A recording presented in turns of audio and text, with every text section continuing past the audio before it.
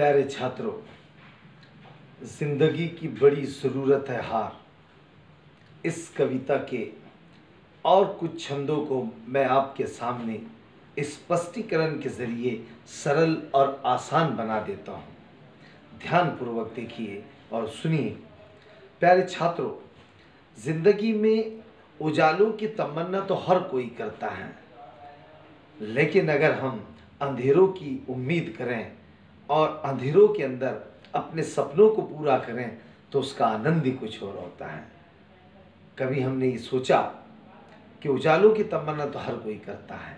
हमें अपने अंदर अंधेरों में से रास्ता बनाना है।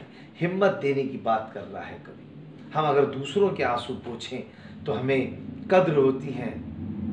ज़िंदगी की कद्र होती है। एक क्षण में कवि हमसे आगे बढ़कर ये कह रहे हैं कि हारने के बाद जो हौसला मिलता है, वो हौसले से अगर हम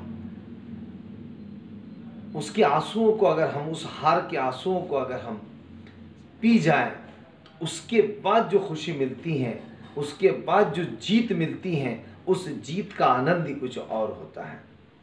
और आखिरी में, आखिरी छंद में कवि हमसे कह रहे हैं, आभार प्रकट कर रहे हैं कि ज़िंदगी में जो हार मिलती हैं तो बार बार हार मिलती हैं तो वो हार का आभार प्रकट कर रहे हैं।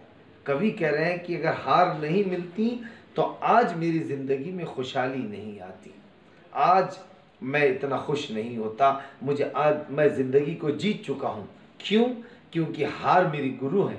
मुझे सिखाया है हार ने, कांटों से लड़ना, पर्वतों से लड़ना, पहाड़ों से लड़, टकराना, ये मुझे सब हार ने सिखाया। ये मेरे गुरु हैं। ये ये ज्ञान अगर ज़िंदगी में अगर मैं आसान और सरल होता तो मैं कभी जीत नहीं पाता।